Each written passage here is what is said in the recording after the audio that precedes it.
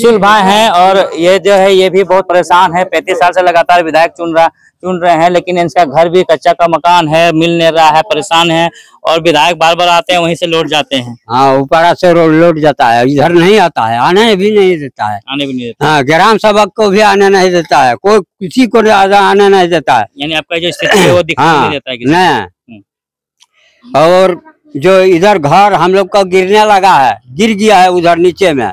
घर गिर गया है, ये गिरता है, फिर बनाते हैं, फिर गिरता है, फिर बनाते हैं। हाँ। चलिए तो हम इनका घर आपको दिखाते हैं। एक्चुअली इसकी घर की स्थिति क्या है? तो आइए हमारे साथ में, ये आप देख सक रहे हैं, हम किधर से जाए तस्वीर दिखाएँगे।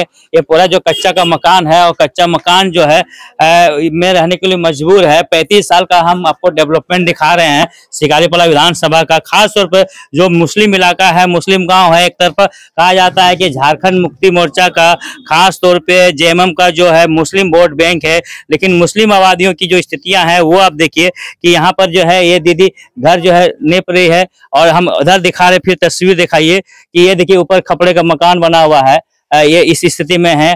और अमूमन जो है इधर घर भी जो है अगर बारिश ज़्यादा हो जाए तो घर गिर जाएगा और इस लोग को डर और भय में रहते हैं कि ज़्यादा बारिश से कहीं परेशानी ना हो जाए। तो ऐसे बताइए बारिश में दिक्कत डर लगता होगा आप लोग बहुत डर लगता है। बा, बारिश में बहुत डर लगता है गिरने लगता है चूता है पानी।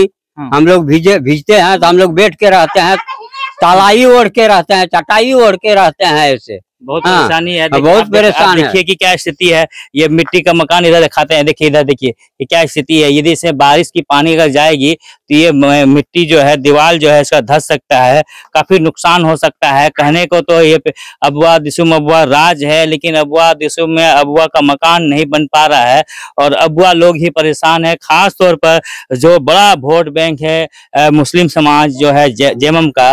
लेकिन स्थितियाँ पैंतीस साल से लगातार विधायक जहाँ पर एक ही पार्टी का चुना जा रहा हो, और वैसी स्थिति में जो मुस्लिम बहुल क्षेत्र है, उनकी भी स्थिति दयनीय है।